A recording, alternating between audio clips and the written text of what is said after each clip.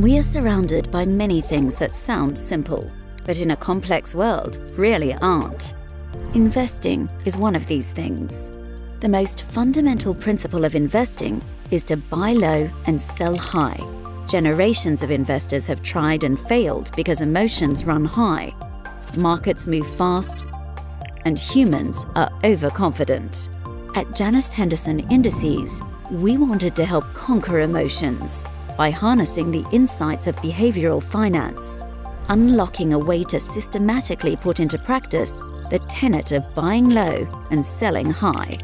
The result is the Janus Henderson Equity Directionality Index, or JEDI. JEDI exploits the behavioral finance concept of reversion to the mean. It has been demonstrated that people consistently expect large moves in the stock market to be followed by a reversion to a more average or mean level. This persistent expectation from investors can be self fulfilling.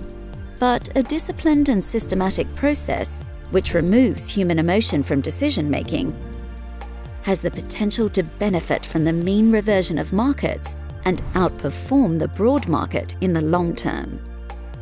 JEDI works by activating four consistent rules built on the concept of buying low and selling high that adjust exposure to the broad market.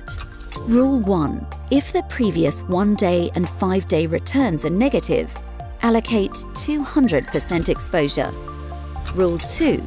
If the previous one day return is positive and five day return is negative, allocate 150% exposure. Rule 3.